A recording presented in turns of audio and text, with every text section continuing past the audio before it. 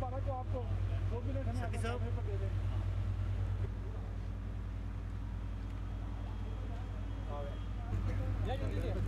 वो किधर है? एक मिनट कोई बात नहीं इधर ही ले लेते हैं Today is the happiest day for me that uh, with all the prayers of uh, our friends, relatives, and uh, the entire nation, and my son has been recovered. देखें he is at Bagram at, the moment and he got his medical checkup.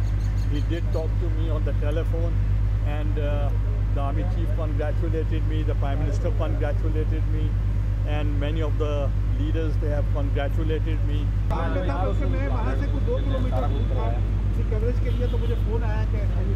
The prime minister would send a plane to uh, and to pick up uh, Ali Haider and he will be coming to Lahore.